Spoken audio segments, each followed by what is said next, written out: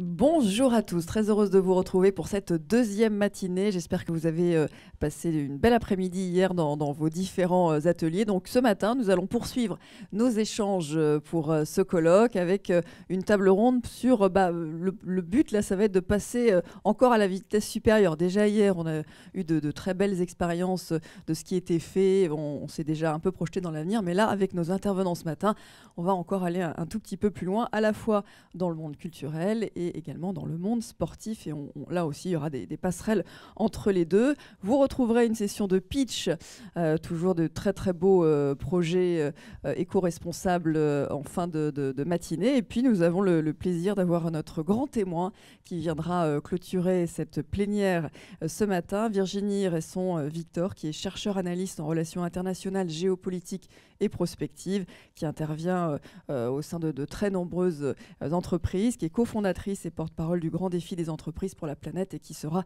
avec nous pour euh, bah, partager euh, euh, sa vision de tous ces, enjeux à venir. Toujours Klaxoon, donc je, je, vous attends et je vous invite à nous envoyer toutes vos questions soit en flashant le QR code, en vous inscrivant si ce n'est pas fait, mais là je pense que si vous avez déjà euh, participé à la journée d'hier, c'est fait.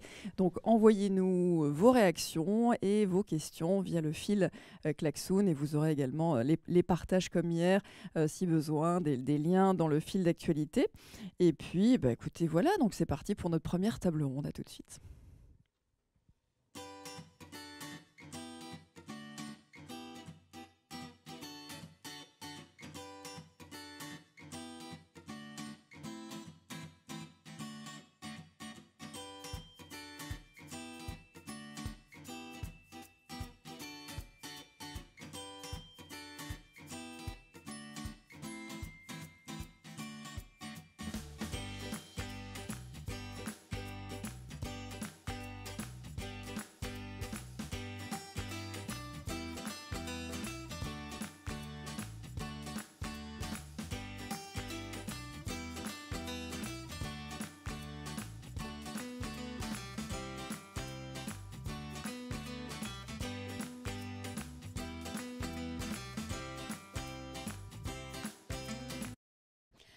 Voilà, j'en profite également pour euh, remercier euh, les, partenaires euh, qui, ont, qui sont à l'origine de ce colloque et qui ont tout organisé.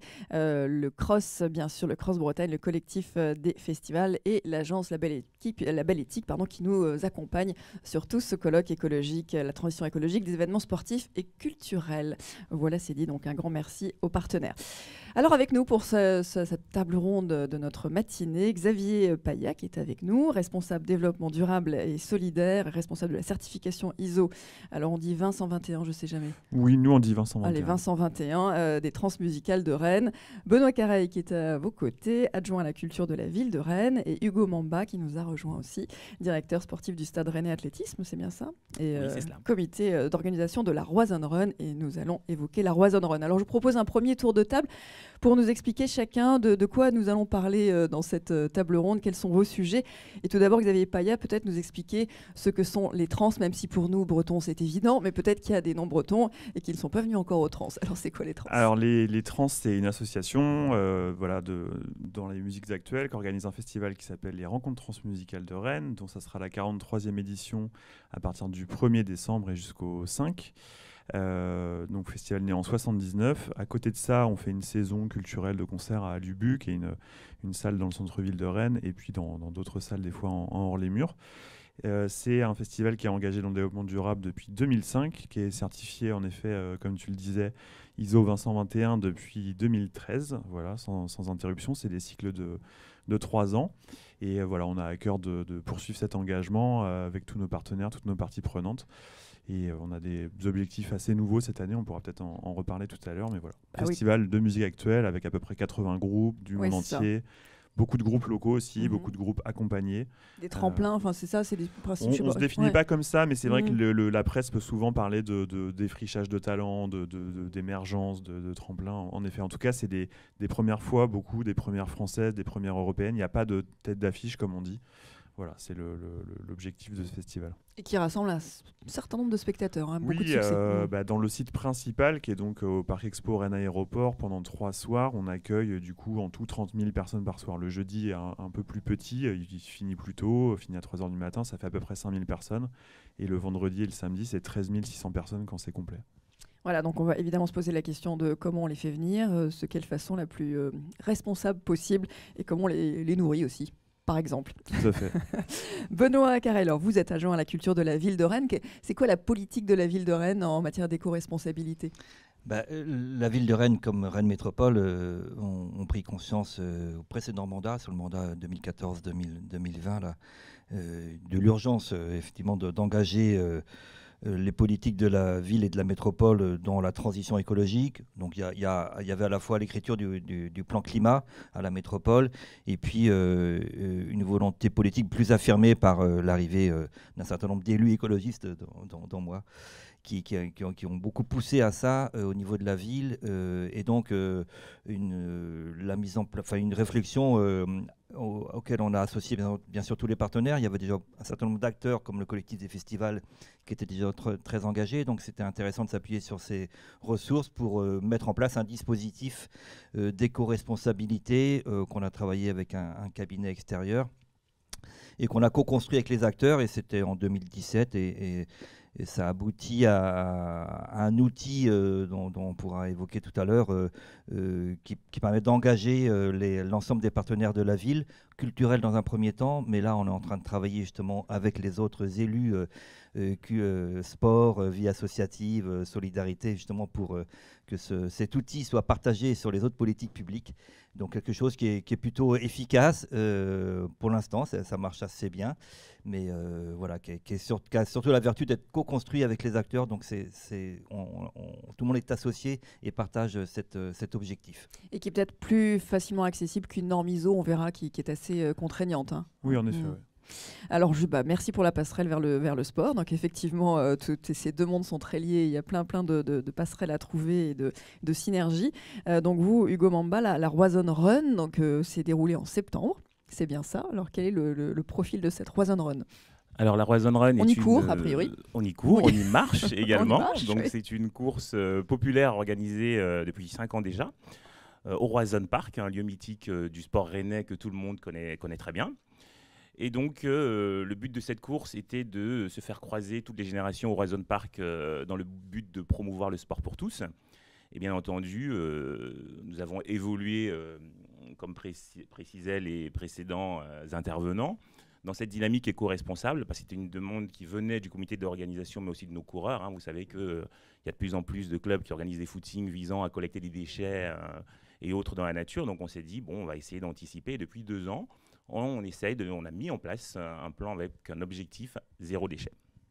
Eh bien, formidable. On va parler de tout ça. Comment vous avez mis ça? Ça rassemble combien de coureurs? Est-ce que juste quelques, quelques chiffres?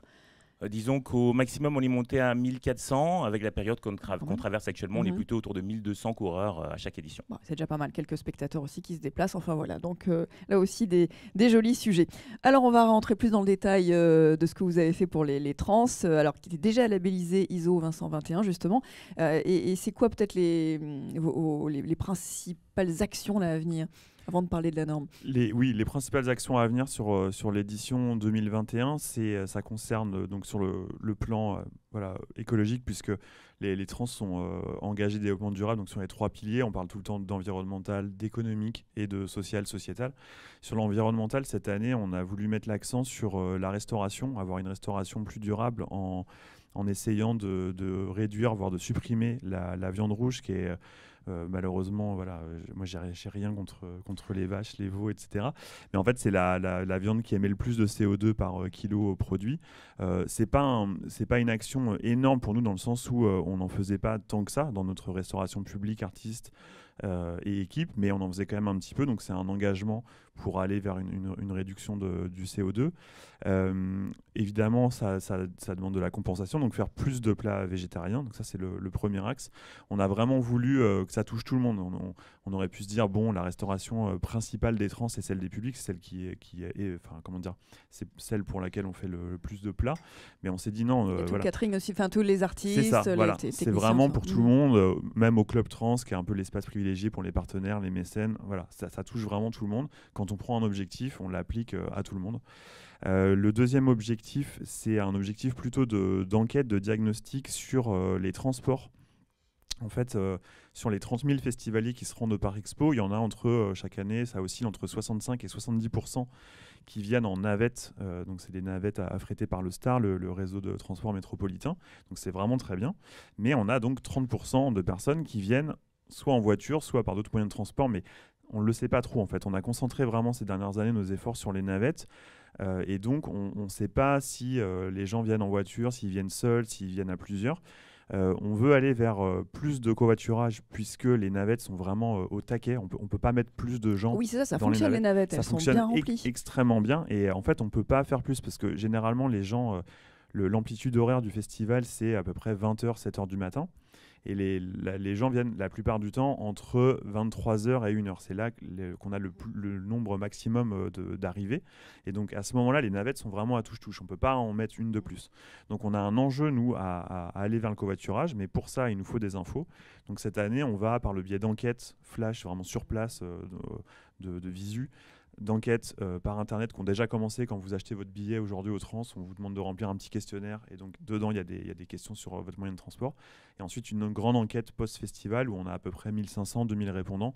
Une enquête plutôt typée sociologique avec beaucoup, beaucoup de questions dans laquelle cette année il y aura des questions sur, euh, sur les moyens de transport. sur, euh, oui, sur l'appli ou le, le, le, site du, du, festival, on ne pourrait pas avoir une, euh, covoiturage Il y, a dans les infos ah, pratiques, ouais, ouais, on a des liens avec WestGo voilà, et avec Mobicop, on a créé des événements et on invite les gens à s'y rendre. Mais en fait, là, nous, ce qu'on veut vraiment savoir, c'est est-ce que les gens covoiturent déjà de manière informelle avec leurs amis, puisqu'évidemment, un festival, on y va rarement tout seul. Rarement seul, voilà, mais on peut y aller seul et rejoindre des gens. Voilà, c'est vraiment un objectif d'enquête. C'est pas, ça va pas donner des actions concrètes cette année, ça, ça, ça nous permettra d'en produire, on espère, dans les, dans les années prochaines. Et enfin, le troisième et dernier grand objectif de l'édition à venir, c'est, euh, il concerne donc là plutôt l'angle social, sociétal du, du développement durable, et c'est la prévention et la sensibilisation aux violences euh, sexistes et sexuelles dans les événements festifs et en particulier chez nous dans les événements musique, festivals, avec à la fois de la formation de nos équipes, donc a déjà commencé, on a tous été formés en avril par une association qui s'appelle les Catherinettes. Euh, donc quand je dis tout le monde, c'est l'équipe permanente, les, non permanents les plus importants, donc en régie technique, en sécurité, des prestataires également. On a invité nos prestataires, donc qui ne sont pas nos salariés, à se former avec nous. Rédaction de protocole pour savoir euh, comment prévenir et si malheureusement il y a des choses qui arrivent, comment euh, réagir, comment accueillir une victime, comment euh, voilà, euh, qu'est-ce qu'on dit si jamais on doit contacter la police, comment on leur en parle pour, euh, pour que l'info soit transmise vite et, bien. Et avec un accompagnement par l'association Les Catherinettes qui, en plus de nous former, sera présente sur le festival voilà, et sera en stand accueil prévention dans le hall 5, qui est le, le, hall du Parc Expo, qui est vraiment le hall des publics. Il n'y a pas de concert, c'est vraiment un hall où on peut se détendre, manger, boire. Et il y a beaucoup de prévention et euh, sur voilà sur euh, l'alcool, mais également sur les, les, violences. Et les Catherinettes auront également une, une équipe en maraude, donc c'est-à-dire qu'elles elles se baladeront dans, je dis elles, parce que je pense que ça sera majoritairement des femmes, voire peut-être intégralement une équipe féminine. Euh, elles se baladeront dans les halls et elles permettront peut-être à des festivaliers de témoigner plus facilement, genre ah là j'ai vu un mec vraiment relou, je savais pas quoi faire, je n'ose pas intervenir moi-même, mais je vous en parle, peut-être que vous, ça voilà. Et on, travaille beaucoup là-dessus en ce moment. Excellent. Donc trois, trois actions la principale. Peut-être juste revenir sur l'alimentation.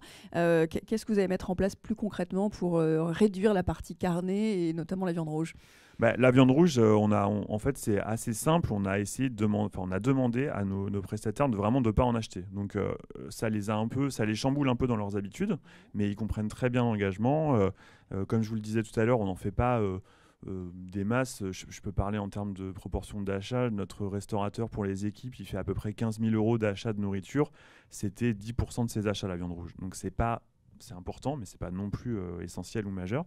Donc il va se débrouiller autrement. Et ça peut être par exemple bah, de remplacer des lasagnes avec euh, du bœuf haché par des lasagnes végétariennes. Et donc ce qu'on fait concrètement, c'est qu'on leur demande de, bah, de remplacer ce qui était en viande rouge par du végétarien ou de la viande blanche, de plus mettre de viande dans les entrées, de se dire les entrées ça peut être des crudités, des choses comme ça, il n'y a pas besoin d'avoir de la viande dans les entrées. Et bah, c'est un dialogue avec eux pour voilà ensuite pour négocier parce que c'est aussi bien des fois de rentrer dans le vif du sujet avec les prestataires parce que eux nous disent par exemple bah oui mais en fait quand on fait des lasagnes avec de la viande hachée on met la viande et c'est bon c'est fait alors que le substitut, par exemple, de fait avec des lentilles, on doit le préparer et donc ça prend plus de temps.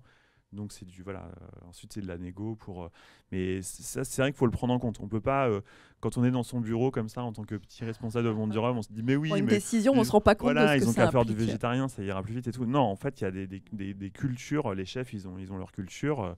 à moins d'aller vraiment vers un restaurateur qui est hyper dans, dans, ce, dans, le végétarien depuis très longtemps et qui a plein de recettes. Non, il y a des, ça leur demande des changements. Donc du coup, ça les oblige aussi à se former et à avoir de nouvelles pratiques.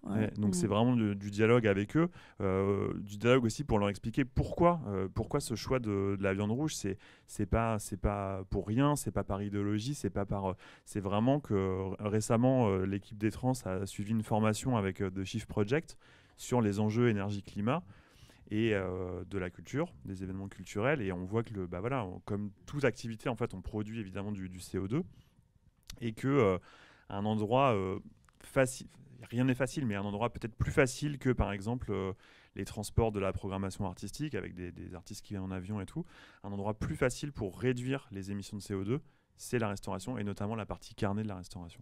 Avant de partir sur la norme euh, ISO, euh, peut-être euh, Hugo Mamba, ça, vous inspire? Vous avez déjà engagé ce genre de réflexion sur la restauration de la Rosenron Oui, bien entendu. et du coup, c'est très instructif de voir que bah, ils sont encore, ils ont passé une étape supérieure à la nôtre. Nous, l'enjeu était surtout auprès de nos bénévoles parce qu'on a près de 100 bénévoles sur l'événement qui se restaurent sur place. Et effectivement, on s'était rendu compte que ça générait beaucoup de déchets en termes de bouteilles d'eau, d'emballage plastique, etc. Donc cette année, euh, nous on a fait un choix qui était un peu différent, c'est-à-dire on a fait le choix de privilégier euh, un restaurateur local, hein, la galette saucisse, c'est très prisé. Malheureusement, pour l'instant, on ne peut pas encore remplacer. La saucisse La saucisse Puis en Bretagne, c'est presque. Ça, ça va être compliqué. Exactement. c'est quand même culturel. Exactement, donc ça a plutôt bien fonctionné. C'est-à-dire, on a des, bénévoles qui, euh, sur leur temps de pause, allait se restaurer auprès mm. du camion euh, et on a pu ainsi euh, limiter avec entre, entre autres euh, des gobelets réutilisables, etc., limiter un peu les déchets à, ce niveau-là. Donc voilà, ça, ça donne des, des, Vous, vous, réagissez quand vous voulez hein, sur ces, sur, au fil de l'eau. Alors donc la norme euh, ISO, on va rentrer dans. On a eu des questions hier. Euh, ça, ça, consiste en quoi cette norme ISO 2121 Elle est euh, conçue spécialement pour le secteur de, de l'événementiel, c'est ça? Oui, voilà. En fait, il faut imaginer, c'est pas un label décerné à un événement qui serait développement durable ou qui serait éco-friendly ou voilà. C'est un système de management qui est vraiment une, adaptation en fait de l'ISO 9001, qui est une norme de qualité qu'on retrouve beaucoup dans l'industrie et les services. Voilà. Mhm. Euh, et euh, en fait, ils ont, pour vraiment le dire très schématiquement, l'ISO 20121 remplace la, notion de qualité de la 9001 par la responsabilité. C'est-à-dire quand on fait un événement, euh, ça, ça, engage évidemment des impacts négatifs. Bah, voilà, on vient de le parler, émissions de CO2, déchets, comme le disait Hugo. Il y a des problèmes, par exemple, nous, un problème peut auquel on peut être confronté, c'est qu'on crée des nuisances sonores en fait autour de nos, de puisque voilà, c'est un festival de musique, concert, voilà. et donc c'est un, comment dire, ça met la responsabilité au centre, donc responsabilité sociétale au sens vraiment de voilà développement durable. Donc je l'ai dit tout à l'heure, économie, euh, sociale, sociétale et environnement, écologie. Et donc ça incite à se doter d'un cadre managérial pour se mettre des objectifs, pour s'améliorer, pour écouter toutes ces parties prenantes, même celles avec lesquelles on n'a pas de, contact. Euh, je pense par exemple à justement un riverain qui serait gêné par, le, bruit de nos événements. On n'a aucun contact avec lui, il vient pas au festival, donc on n'a pas de lien commercial, il fait pas partie de notre organisation, et pourtant on doit pouvoir euh, être en mesure d'écouter ce qu'ils ont à dire, de communiquer avec eux, de voir comment on peut arranger les choses. Euh, euh, changer les horaires, avoir des barrières anti-bruit, je sais pas. Là, c'est vraiment un exemple hypothétique. Donc ça vous engage, oui, dans, ce, dans cette relation avec toutes les parties prenantes, y compris les. Voilà, tout à fait. Donc évidemment, les partenaires publics, euh, les prestataires, les fournisseurs, les publics. Euh, et en fait, avec toutes ces personnes, on doit essayer de, de, prioriser les, enjeux. Là, c'est au sens enjeu, développement durable, donc les grands enjeux, égalité femmes-hommes, réduction des déchets, protection de la biodiversité. On doit voir quels sont les enjeux importants pour les parties prenantes externes. Donc là, je, parlais par exemple des, partenaires publics, des, riverains, des festivaliers. Les parties prenantes internes, c'est-à-dire nous, nos salariés, nos salariés permanents, non permanents et voir quels sont les enjeux vraiment euh, les plus prioritaires, ceux sur lesquels on veut avancer, et ensuite on se met des actions, des objectifs, etc. Donc euh, c'est pour ça que, que là, en 2021, on a les trois objectifs dont je parlais tout à l'heure. Donc c'est vraiment un système de, management.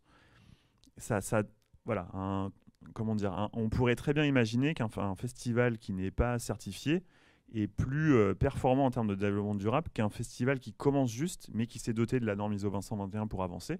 Peut-être qu'au bout d'un moment, celui qui est certifié fera plus de progrès évidemment, mais c'est pas un, voilà, c'est pas l'équivalent. C'est un premier critère, voilà, et c'est pas un label, euh, voilà, sur le long terme quand même. Du coup, il faut le temps d'engager le truc. Il y a quand même des actions emblématiques qui ont été lancées depuis la certification. Je pense à Greenlight, ce genre de choses. Oui, tout à fait, et qui progressent beaucoup. Mais là, là en fait, on bénéficie euh, donc les Greenlight, c'est ce qu'on a, enfin c'est les LED en fait, on appelait ça Greenlight avant. Maintenant, le terme de, LED est, plus plus générique. En gros, c'est une technologie qui permet euh, de consommer moins de d'énergie que les lampes à incandescence ou lampes halogènes qu'on avait avant sur, sur les scènes. Euh, en 2008, on a commencé avec voilà, c'est ça. on a commencé avec Spectaculaire, qui a, un grand prestataire et un grand partenaire pour nous de de lumière euh, qui, qui, est du, de, voilà, dans le département d'Ille-et-Vilaine. Euh, et c'était vraiment les, les, tout débuts, ça devait être en 2008-2009. Désormais, la technologie s'est vraiment améliorée parce que à cette époque-là, ils ne voulaient pas passer tout en green light parce que esthétiquement, ça ne rendait pas trop. Là, maintenant, il y a des gros, gros progrès de fait. Euh, Spectaculaire, récemment, a justement fait une sorte de colloque euh, qui s'appelait Transition scénique avec euh, beaucoup de, marques qui venaient présenter leurs nouveaux produits qui, en effet, consomment beaucoup, beaucoup moins d'énergie. Et, là. artistiquement, qui sont à la hauteur. C'est ça, désormais, artistiquement, c'est vraiment à la hauteur. Ok, donc il y a les Green Light, il y a l'accueil solidaire des publics aussi, ça aussi eu de. de oui, avec euh, bah, énormément de. Là, c'est la partie vraiment sociale, sociétale. Euh, les, trans, euh, on a une grille tarifaire extrêmement longue, avec, avec une attention vraiment à la diversité des publics. beaucoup de types de tarifs réduits, suivant qu'on est étudiant, qu'on a moins de 26 ans, mais qu'on n'est plus étudiant. on participe au dispositif Sortir de, de Rennes Métropole, et ça permet vraiment de, de pouvoir s'adresser à tout le monde.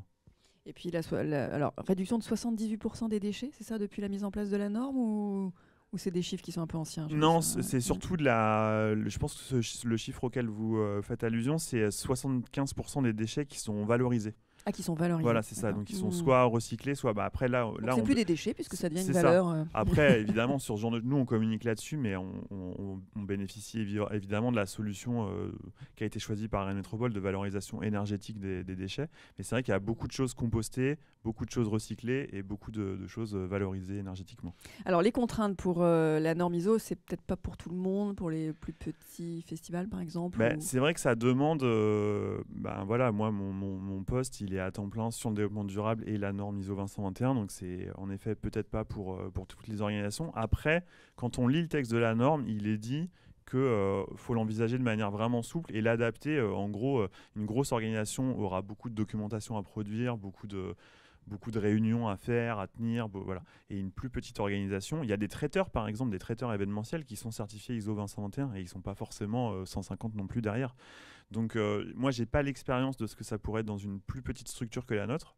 Parfois, je vois que c'est un peu chronophage et que je peux être un peu frustré du temps que je passe sur les, outils normatifs mhm. que je pourrais envisager de passer plutôt euh, sur vraiment du pur progrès développement durable. Mais euh, c'est des impressions parce qu'en fait, je sais très bien en, bout de cycle, au bout d'une année, quand on a passé l'audit, que la, la, norme, elle sert vraiment aussi de de rappel tout, d'aiguillon en fait, le fait de se faire auditer une fois par an. Euh, il y a une personne qui vient visiter nos événements et qui, voilà, qui a un regard extérieur et qui dit ah oui ça vous le faites comme ça mais vous, vous pourriez peut-être le faire comme ça. Et ça c'est vraiment euh, extrêmement extrêmement utile. Donc on verra tout à l'heure euh, comment aller encore plus loin, notamment dans la compensation carbone, en s'intéressant aussi à mutualiser les, tournées, par exemple. On verra ça dans un deuxième temps. Mais Benoît euh, Carré, donc on a entendu euh, parler de l'ISO, qui est bon, qui a quand même certaines contraintes. et alors vous, vous proposez un dispositif qui est peut-être plus accessible? Eh ben, qui peut être utilisé par tous, quoi, et, toutes, de la toute petite association avec des bénévoles jusqu'à la jusqu'à l'Opéra de Rennes, un équipement régie ou une, grosse association comme les Transmusicales. Et où elle a voulu l'utiliser aussi, bien oui, sûr. Oui, tout à fait. Qui, qui, est, je, je crois, l'une des seules à avoir un poste à plein temps sur le développement durable. voilà, c'est aussi la chance de, de, cette grande de ces grandes structures.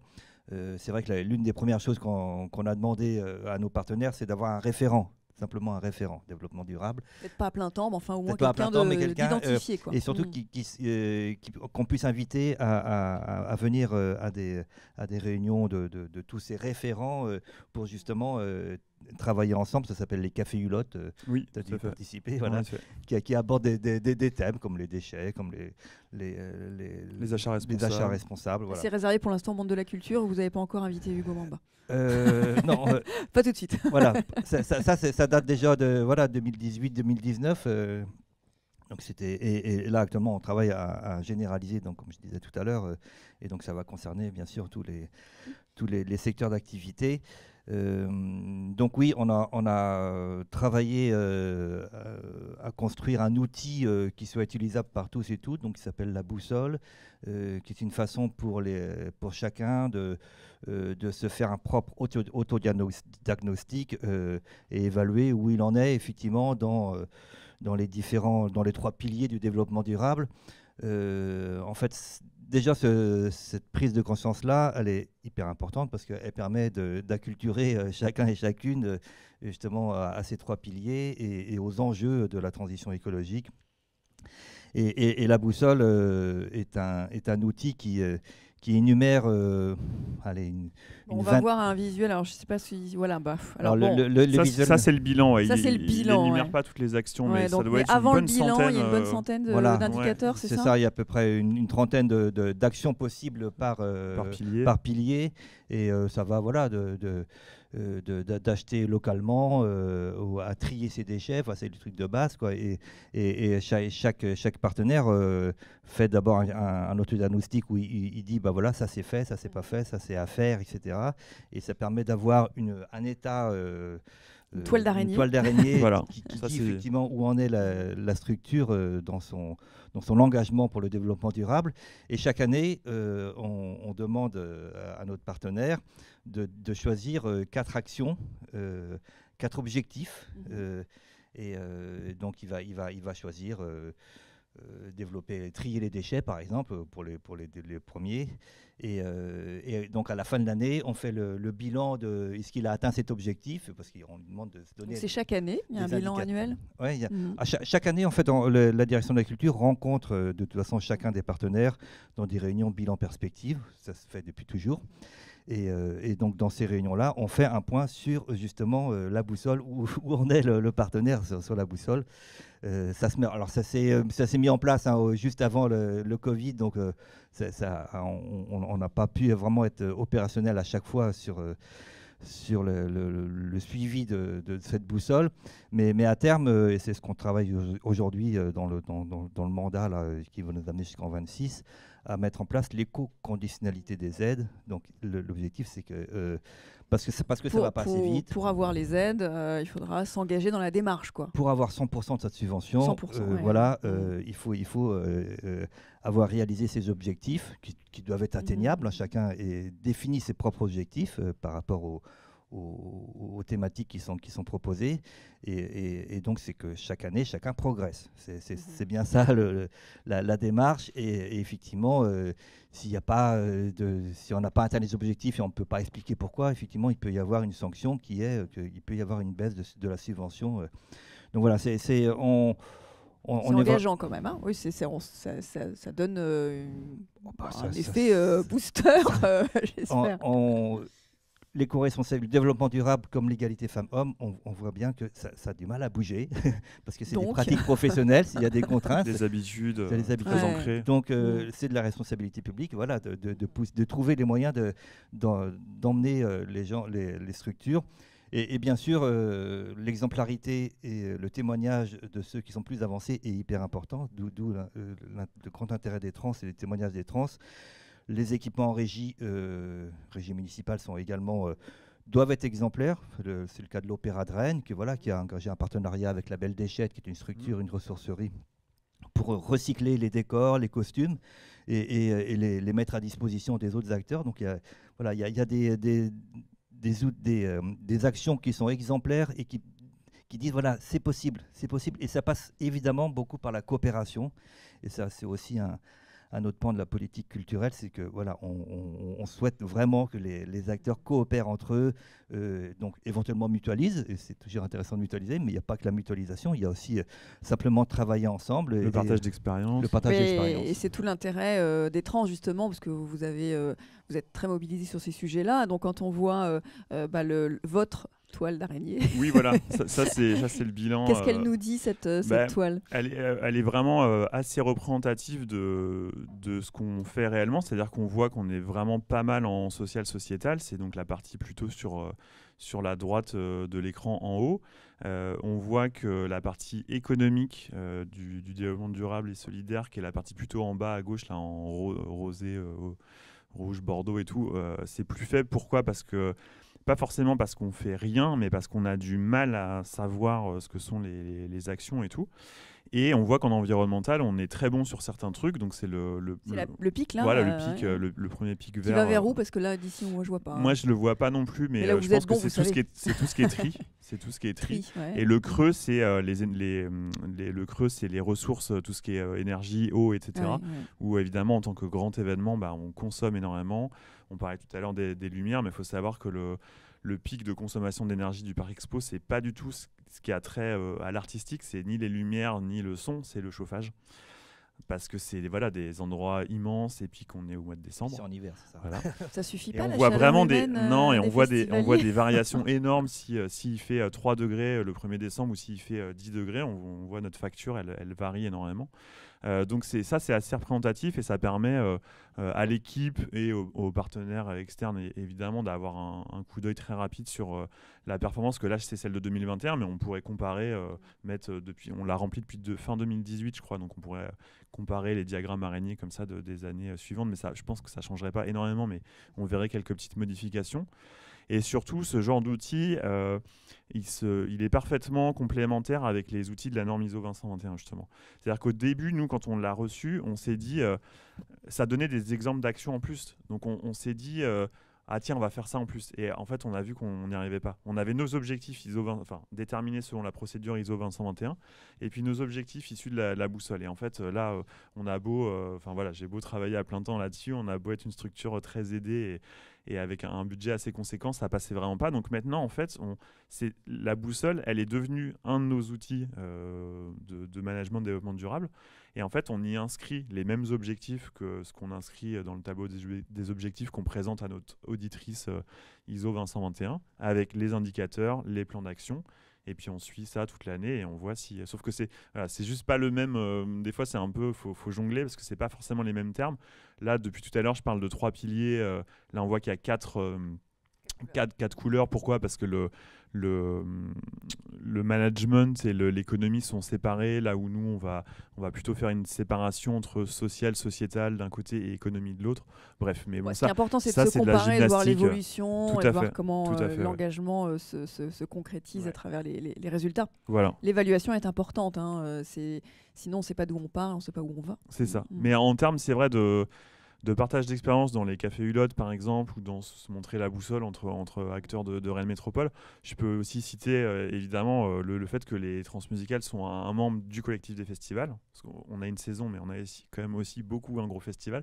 Et là, le partage d'expérience, il, il, y est tout le temps aussi. Enfin, euh, grâce au collectif, en fait, on fait des formations, on se rencontre entre nous, on visite les autres festivals, les festivals viennent nous visiter, on échange. Et, là, c'est vraiment, si je peux dire un, enfin voilà, pour ceux qui nous écoutent, si jamais vous êtes dans des structures comme ça qui permettent de vous regrouper entre, entre salles de concert, entre festivals, entre événements euh, sportifs. Regroupez-vous dans, dans, ce, dans ce genre de structure parce que c'est vraiment...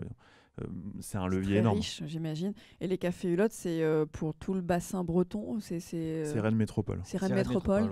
Vous accueillez des, des, amis un peu plus loin On est très accueillant. On est très accueillant. On a toujours été comme ça.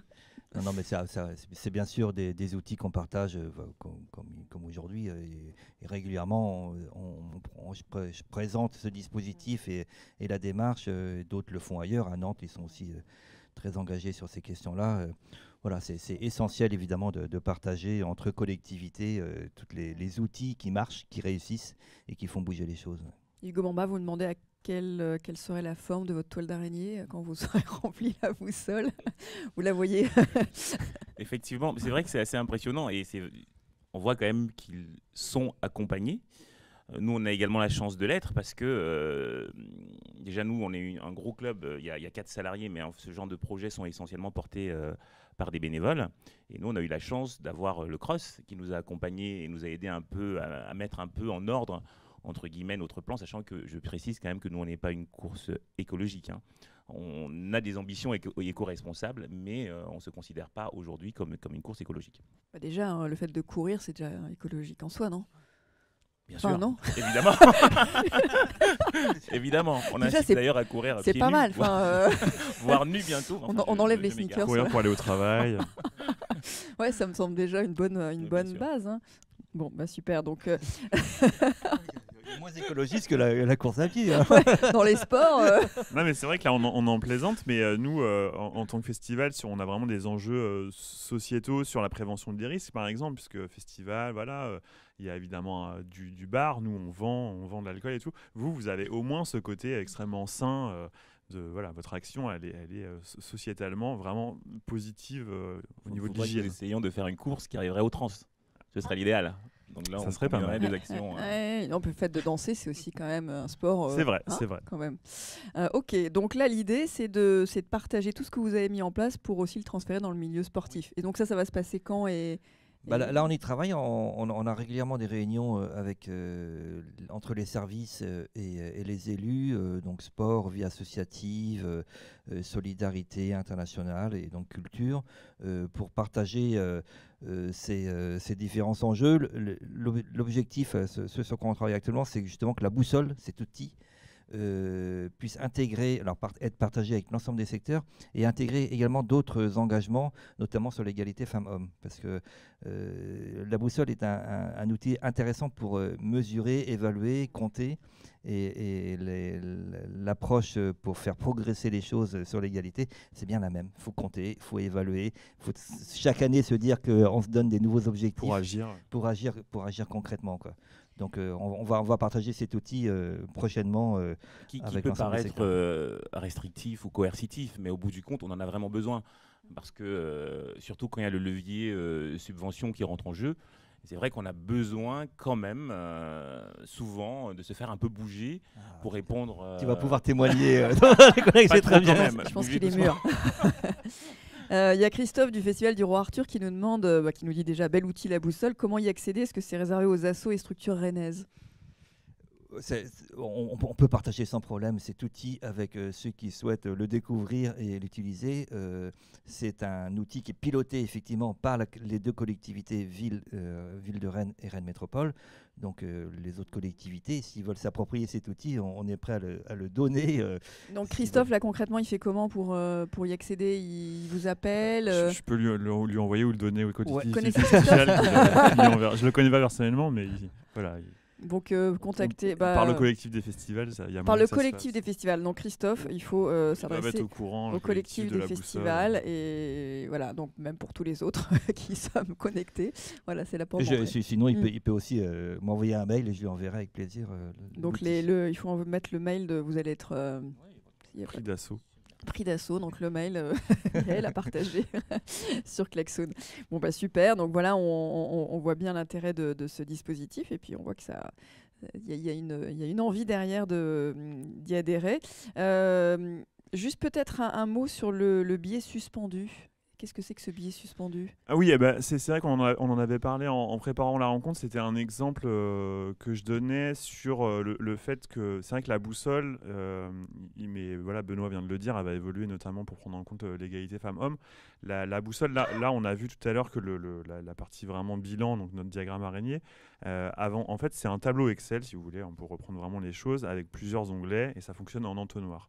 Benoît l'a dit, il y a plein d'actions. On dit si c'est déjà fait, si on a envie de le faire, enfin on se met euh, à faire, si on est concerné ou pas, parce que euh, vu que ça s'adresse à tous les, toutes les structures culturelles, saisons, euh, festivals, régies, associations, il y, a des choses qui ne sont pas concernées.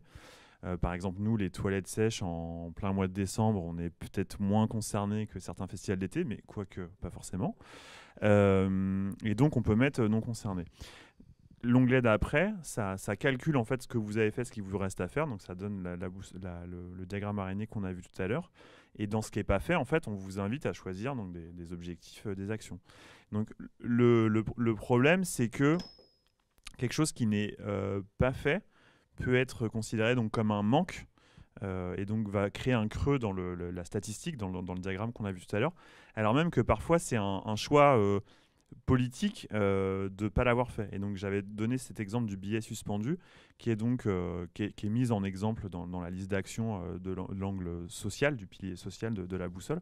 Le billet suspendu, vous savez, c'est quand on demande, enfin on propose en fait au public de, c'est comme le café, le, café suspendu au bar, on demande au public de s'ils veulent bien abonder une, cagnotte, voire même acheter un ticket en plus s'ils en ont les moyens. Euh, ticket qui va rester à la billetterie et qui pourrait profiter à quelqu'un qui n'a pas les moyens de s'acheter un billet. Et euh, en fait, il y a plein d'acteurs culturels qui le font. Et nous, au Trans, on a choisi politiquement de ne pas le faire. On préfère avoir une grille tarifaire, j'en parlais tout à l'heure, très étendue, euh, qui, on l'espère, s'adresse vraiment au plus grand nombre. Parce qu'on trouve que ça peut être un peu stigmatisant d'avoir de, d'avoir un billet comme ça euh, ah ouais, euh, ok, euh, il y a un peu le, stand à côté où il y a les personnes qui viennent prendre un billet qu'ils n'ont pas payé, qui se sont fait offrir par tous les autres. Voilà, bon là j'en parle un peu brièvement. J'étais pas, j'étais pas encore mmh. salarié de l'ATM quand, quand c'est une décision qui a été, qui a été prise. Peut-être qu'un jour on y reviendra et tout, mais c'était pour montrer aussi le, le, le, certains biais quand même qu'il peut y avoir dans des, quand on essaye de mettre la réalité dans un tableau Excel, euh, forcément il y, a des, y, a des trous, il y a des biais. Quoi. Mais c'est vraiment un, petit, petit détail. C'est aussi tout l'intérêt des, euh, des cafés Hulot de, de, partager justement euh, ces expériences. Euh, au, il y a quelques années, euh, le simple fait de, mettre des gobelets réutilisables posait problème euh, à certains organisateurs. Hein, et maintenant, il y en a partout. Et maintenant, il y en a partout. Et il a fallu effectivement expliquer, mais qu'il n'y avait pas de problème de se transmettre des maladies, etc. et, les, billets suspendus, effectivement, il, y a, commence à avoir de plus en plus d'acteurs, d'équipements à mettre ça en place. et je pense qu'il faudra peut-être qu'on fasse un un café l'autre sur le sujet pour, justement euh, dire euh, si ça pose des problèmes à certaines personnes, est-ce que ça stigmatise des personnes ou pas. Euh, il y a peut-être un partage d'expérience là-dessus. Voilà, il y a un partage d'expérience pour, lever justement des doutes. Hmm. Et sur les, les, les, cups, on verra que c'est mieux d'emmener la sienne en fait. Oui, tout à fait. Et de et de pas enfloquer des et de pas enfloquer des nouvelles chaque année. Voilà. Ouais, ouais, oui, quand même. Hugo Mamba. Alors justement, bah, on va parler de tout ça avec vous aussi. Quel, euh, comment vous avez pris ce sujet de l'éco-responsabilité euh, euh, de votre côté sur la, la Roison Run? Qu'est-ce que, Par quoi vous avez commencé? Bah, de, de, notre côté, déjà, comme je l'expliquais tout à l'heure, c'était quand même une grosse anticipation parce que ça fait trois ans qu'on travaille sur le sujet. On l'a fait parce qu'on est aussi conscient que les enjeux évoluent et qu'on sait très bien hein, qu'un jour, on nous dira que euh, contre que les subventions seront euh, subventions, il faudra répondre à certains critères. Donc on a avancé euh, quand même assez vite là-dessus. Après, on est une course qui vit essentiellement par ses partenaires. Et nos partenaires sont très engagés également sur ces aspects-là et de plus en plus. Donc effectivement, assez rapidement, on s'est dit qu'il fallait qu'on avance très vite. Hein. Alors sur quel sujet plus précisément? Bah, sur le sujet principal de, des déchets qui sont générés, hein, c'est le premier parce qu'une course, euh, avant d'être organisateur, euh, on ne se rendait pas compte que ça générait autant de déchets. Mais c'est vrai que quand euh, on devait remettre le Horizon Park en état pour notre cousin, le Stade Rennais Foot, qui nous prête, gracieusement cet équipement, eh bien on se rendait compte que ça faisait quand même beaucoup, beaucoup de, travail, dont le premier objectif hein, a été d'essayer de réduire au maximum ces déchets. Donc par la sensibilisation, vous avez fait comment? On a été un peu plus radicaux que ça parce qu'on a, on a, on a commencé par euh, mhm. supprimer euh, les bouteilles d'eau. Parce qu'au début, c'était bouteilles d'eau pour tout le monde que nous fournissaient mhm. euh, nos partenaires. Hein. Donc, dans un premier temps, on a remplacé les bouteilles d'eau par des gobelets qui généraient encore pas mal de déchets, mais d'eau du robinet. Et là, ça a été un tollé parce que sur, les réseaux sociaux, vous vous rendez compte, vous nous servez de l'eau du robinet, elle était dégueulasse, elle avait un goût de, de ceci, de cela. Donc, c'est vraiment pas très bien passé la première année auprès de, nos pratiquants. On a eu de la chance parce que très vite le Covid est arrivé. Et je ne pensais pas dire, ça. si on peut dire. mais ça vous a aidé en tout cas. sur cet aspect-là, on n'a pas eu le choix. C'est pour ça que je disais parfois le côté un peu coercitif peut aider. Parce que de toute façon, notre fédération avait dit plus de ravitaillement euh, sur les courses faisant par exemple 10 km. Donc l'édition d'après, il n'y avait pas de ravitaillement. Par contre, on a incité les personnes à venir avec leur camelback. Camelback, c'est des sacs euh, avec pochette d'eau et compagnie, leur gourde. Perso, c'est à eux, ils se débrouillent. voilà. et là, c'est très bien passé. Les gens, ils l'ont. Euh, ils, la remplissent avec l'eau qu'ils veulent. Ils l'ont compris. ils l'ont compris. Mhm. Et euh, par contre, on a maintenu un ravitaillement quand même à l'arrivée. par sécurité aussi, hein, parce que les personnes qui ont, il y en a qui le font en une demi-heure, mais il y en a qui le font en 1h20. Donc là, il y, a quand même un risque si on n'a pas d'hydratation à l'arrivée. Et on a décidé euh, de faire floquer de magnifiques Eco Cup euh, chaque année. On pensait que c'était une bonne idée jusqu'à ce que le Cross vienne nous expliquer qu'il fallait, je crois, 12 utilisations euh, afin de considérer que le contenant était écologique. Et donc, on a trouvé la solution avec un autre partenaire, le, les eaux du bassin rennais, mhm. qui fournissent les Eco Cups ainsi que l'eau et qui les récupèrent après événement. Voilà, donc ça c'était une, première, une première action sur, euh, sur l'eau. Est-ce qu'il y a d'autres euh, actions que vous avez déjà mis en place ou vous, allez, euh, vous avez envie de mettre en place? Bah, L'autre action consiste, en fait il faut savoir que sur une course, il y a besoin d'avoir des ouvreurs. Il y a besoin d'avoir ce qu'on appelle un vélo-balai qui éventuellement pourrait ramasser les personnes qui seraient en très mhm. forte difficulté et les traîner jusqu'au jusqu'au point d'arrivée. Et en fait, souvent on est plutôt sur des véhicules motorisés, sur ce genre d'action. Donc assez vite, on, a choisi de passer sur, sur des vélos. Sauf qu'il faut savoir, quelqu'un qui court 10 euh, km en 30 minutes est très très difficile à suivre à vélo. Donc la première édition, euh, le vainqueur euh, a semé le vélo dans une côte et le vélo s'est retrouvé très très très en difficulté. Donc ça a été problématique. On, en rigole encore aujourd'hui. Il a survécu, hein, mais il a vraiment été en grosse difficulté. Et donc on est passé au vélo électrique sur les dernières éditions et ça se fait vraiment très très très bien. Donc euh, c'est ça, c'est vraiment euh, essayer de se dire c'est plus compliqué à mettre en place, mais renoncer euh, au véhicule juste devant les coureurs en plus. Très bien. vous aviez envie de réagir bah Non, non, mais c'est vrai qu'un coureur qui fait 10 km en 30 minutes, il va à plus de 20 à l'heure en fait. Hein, donc c'est vrai que c'est en côte, il faut le suivre. Il y a du vécu. Il y a du vécu. Effectivement, il y a du vécu. Je ne fais pas 30 minutes. Pas encore. Voilà, on supprime aussi tout ce qui est euh, flyer, euh, tout, tout, ce qui n'est pas complètement indispensable, c'est ça? Alors pour les flyers, ça, a été compliqué. C'est pour ça que je disais qu'on n'est pas une course écologique parce que bon, c'était à peu près 3000 flyers euh, par édition. c'est pas énorme par rapport, par rapport à d'autres, mais c'était quand même 3000 flyers issus et 3000. Il en restait beaucoup. Je pense qu'il en restait entre 500 et 1000 flyers après chaque édition. Donc on a pris cette décision de supprimer les flyers qui pas très bien passé dans un premier temps parce que nos partenaires euh, se sont retrouvés un peu démunis en disant mais avec quoi on va communiquer? Donc on a fait le choix d'avoir une communication essentiellement digitale. On n'est pas une course écologique, donc on, pourrait nous reprocher et dire oui, il y a aussi de la pollution par le digital, mais c'est le biais qu'on a, le biais qu'on a choisi avec par contre des supports réutilisables. Donc nos partenaires ont des X-banners avec des flashcodes dans leurs agences respectives et euh, leurs usagers ont juste à flasher euh, le code pour savoir ce qu'on propose euh, à la Horizon Run. Donc c'est comme ça qu'ils accèdent, euh, qu'ils accèdent aux flyers. Et ça, ça a très bien fonctionné. On était inquiets, on se disait qu'on perdrait beaucoup en visibilité, et pas tant que ça, au contraire, parce qu'aujourd'hui on est très performant sur les réseaux sociaux. Ok, donc les goodies, en tout cas à usage unique, ça c'est fini les goodies à usage unique, on, a arrêté aussi parce qu'il n'y avait pas beaucoup d'intérêt euh, à distribuer systématiquement plein de petits lots que les personnes n'utilisaient pas forcément. Donc du coup, ça, on a arrêté et on a essayé, euh, parce qu'on valorise quand même toujours euh, la participation des coureurs par la mise, euh, par la dotation d'un maillot Horizon Run. Donc au début, c'était des, maillots de très basse qualité qui, pareil, ne duraient pas très longtemps. Au bout de quelques lavages, voilà, ils n'étaient plus utilisables. Donc on a choisi d'investir dans les t-shirts d'une meilleure, d'une meilleure qualité pour que les personnes les portent longtemps et du coup que ça nous serve aussi de, de, flyer parce que visible un peu partout à Rennes. Donc ça, ça fonctionne super bien. Euh, à part que depuis mais, peu, mais... depuis peu, on a découvert en fait que nos t-shirts qu'on pensait euh, fabriqués en Europe euh, étaient certes valorisés en Europe, mais venaient d'Asie. Donc là, avec la crise qu'il y a eu au niveau du transport maritime, bah, on nous a appelés en nous disant bah, voilà, vos t-shirts sont bloqués en, Russie, c'est assez compliqué. et ils sont arrivés un mois après la course. Donc là, quand même, nos coureurs qui veulent leurs t-shirts nous ont quand même pas mal sollicité là-dessus. Et on échangeait juste avant, hein, où j'étais en train de dire qu'on cherche une solution là-dessus. Est-ce qu'il faut renoncer au t-shirt Clairement, ce serait problématique.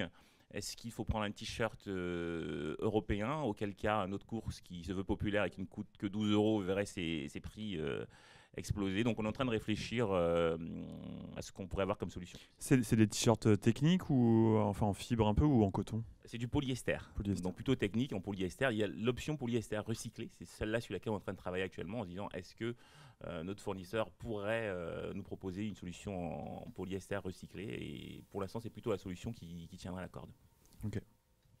Ça vous intéresse bah aussi Non, mais c'est vrai que bah, nous, en, mmh. tant que, voilà, en tant que festival, on fait aussi du merchandising. Mmh. Nous, on vend des t-shirts euh, et euh, du coup, on cherche à chaque fois, évidemment, à avoir des t-shirts euh, qui ont, des, des, certifications, mmh. justement. Donc, ça peut être il y en a, il y en a beaucoup. Hein. Ça peut être le, du coton bio, ça peut être des certifications plutôt sur l'aspect social, comment, comment les, les gens euh, travaillent. Mais en, effet, euh, l'industrie textile est, quasiment euh, entièrement délocalisée, en, notamment en Asie du Sud-Est, au, Bangladesh, etc.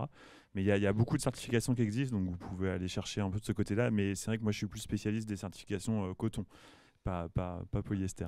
Oui, le coton, c'est bien gourmand. Hein. Oui, c'est coton en aussi. eau, c'est coton, ouais. Mhm. Donc il y a ça. Il y a pas de bonne solution. Hein. Et comme je disais, il faut quand même que les coureurs. Il faut trouver la moins euh, insatisfaisante, il paraît. oui, exactement. Mais j'insiste encore sur le fait qu'on n'est pas une course écologique parce que souvent certains font, euh, font un petit peu euh, l'erreur hein, de, nous, de, nous, de nous mettre dans cette catégorie-là. On fait le, maximum d'efforts, mais un événement comme le nôtre générera toujours un petit peu de déchets. Notamment, j'entendais parler de transport tout à l'heure. Nous, c'est très compliqué le transport, le covoiturage, on incite. Mm on a, on a essayé, euh, on a rencontré euh, le principal euh, prestataire de, transport à Rennes, hein, en essayant de dire est-ce que ce jour-là, exceptionnellement, sur présentation du dossard, les bus qui mènent au Horizon Park pourraient être gratuits? Eh ben, ils, nous ont dit que notre événement n'était pas assez gros. Ils nous ont dit si vous étiez transmusical. À ah, nous, c'est pas gratuit non plus. Hein. Il faut payer. les festivaliers doivent payer un, ticket bah, qui est le prix, euh, voilà, un peu moins de 2 euros, le prix d'un ticket normal, mais c'est pas gratuit non plus. Ça nous est parfois reproché, euh, mm. mais euh, voilà, on peut pas faire non plus gratuit. Donc, quoi, il y a des similitudes, il y a mm. quand même quelques, quelques blocages encore, hein, mais en effet. qui seront levés un jour. Et dans les pistes pour passer à la vitesse supérieure, vous imaginez aussi supprimer les dossards C'est ça paraît anecdotique, mais bah, disons que on s'est aperçu aussi en notamment, avec le cross, hein, que euh, les, les, dossards, en fait, c'était purement décoratif. Il n'y avait pas un réel attrait à avoir des dossards.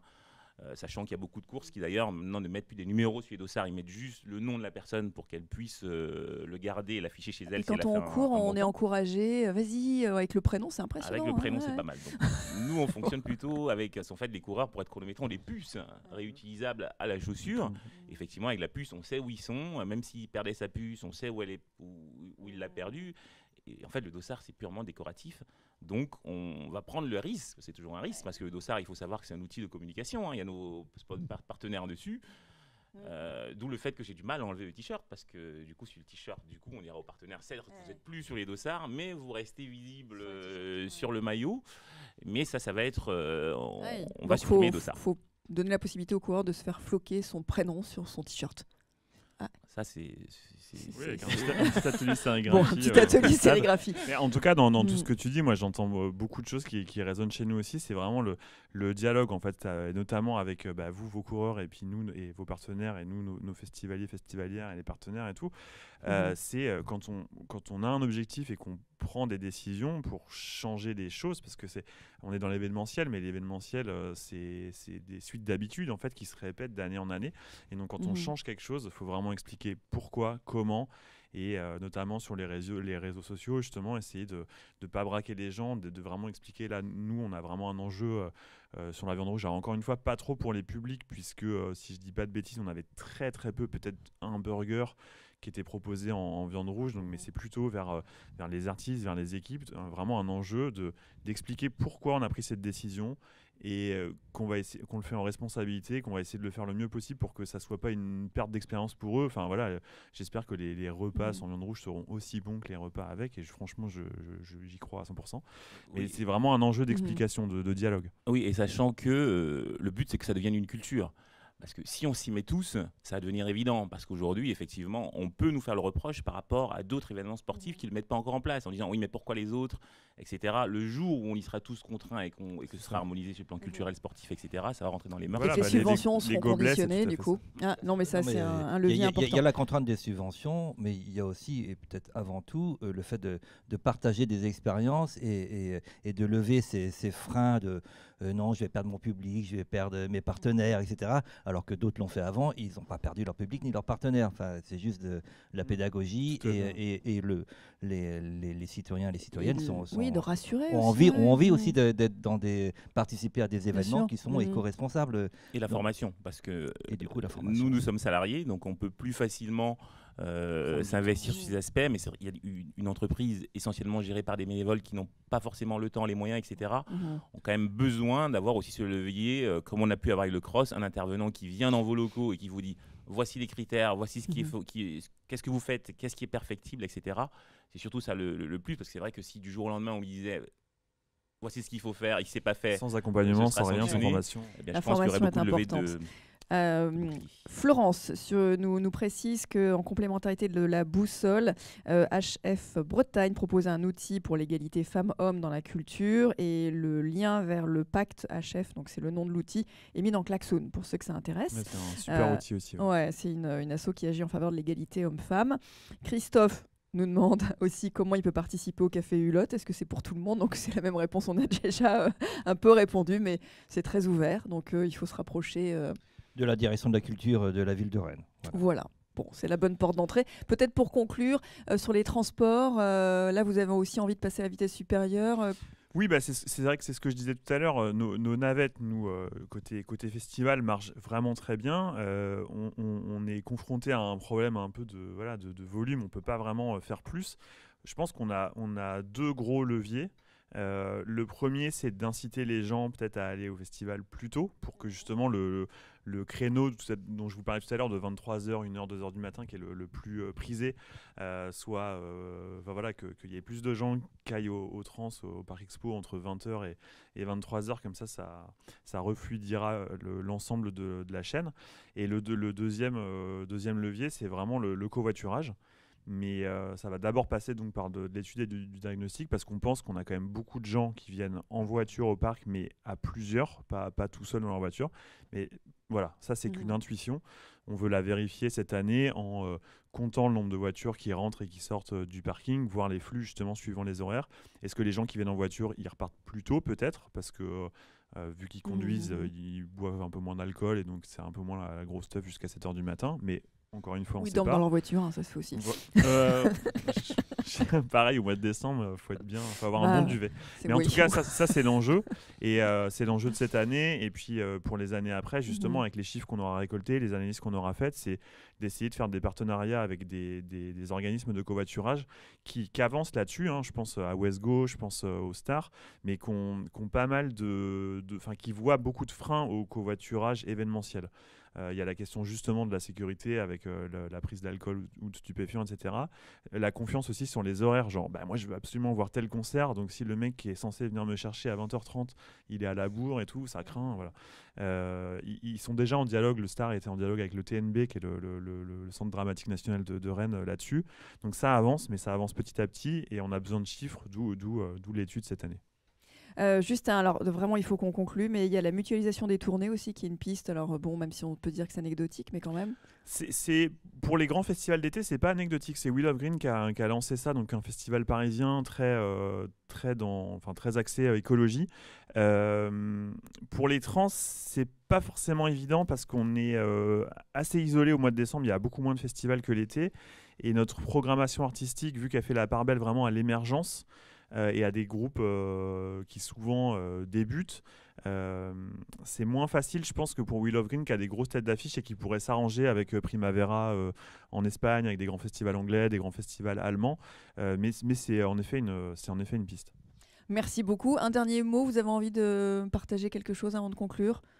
On a dit. Moi, c'est juste un, petit complément à ce qui vient d'être dit, c'est qu'il faut toujours qu'on réinterroge nos pratiques. Par exemple, on parlait de transport tout à l'heure nous on se rend quand même compte que euh, voilà, les, personnes ont des raisons euh, bien précises, euh, comme tu disais, de venir avec leur véhicule. Nous, clairement, on se dit que les personnes n'ont pas envie de courir avec leur portable, leur portefeuille, etc. Et par sécurité, ils viennent avec la voiture pour garder leurs affaires en sécurité. Donc, on a pour objectif aussi de remettre en place un vestiaire si les conditions sanitaires le, permettent pour que les personnes viennent et aient leurs affaires en sécurité pendant la bien sûr, c'est ça à, l'échelle d'un territoire comme, euh, comme Rennes Métropole, euh, on, est vraiment tous euh, collectivement éco-responsables et co-responsables de, de, l'aggravation d'une situation. écologique. et je pense qu'il y, a vraiment urgence. Enfin, on, le voit à la ville de Rennes et ça a un impact sur l'ensemble de nos partenaires. Sur le coût de l'énergie, c'est énorme. L'impact que ça va avoir sur le budget 2022 cette, cette explosion du coût de l'énergie. Donc voilà, on est tous co-responsables de cette situation et il faut tous qu'on agisse rapidement. Eh bien, merci beaucoup. Oui, un dernier mot Non, moi, j'ai franchement pas plus à dire. Il faut, voilà, faut transitionner euh, maintenant, c'est tout. Transitionnons. Merci beaucoup. Merci à tous les trois. On se retrouve dans, quelques instants pour euh, les pitchs.